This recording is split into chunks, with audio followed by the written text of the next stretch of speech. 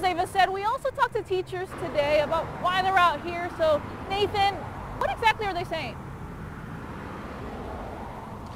With that rally being right here in their backyard. Teachers from all over Leon County gathered with thousands of teachers from across the state to march from the Civic Center right here all the way up to the Capitol. For one of the primary reasons for this is to raise teacher pay. That was something that was constantly reiterated today throughout this rally. Teachers I spoke to in Leon County say they've been waiting for far too long to see steps taken to increase their salaries. A lot of teachers I spoke to also felt encouraged by the amount of people who showed up to march.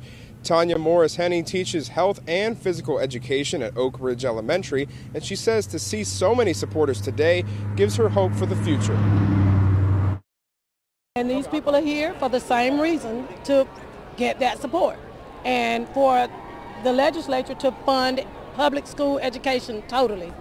And, you know, Florida is known for its best and brightest.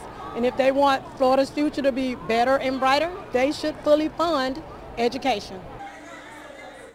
Tanya says it's hard to raise a family on a teacher's salary and understands why so many people have left the job. And on a positive note, she did tell me that she believes that with this rally, change is on the way.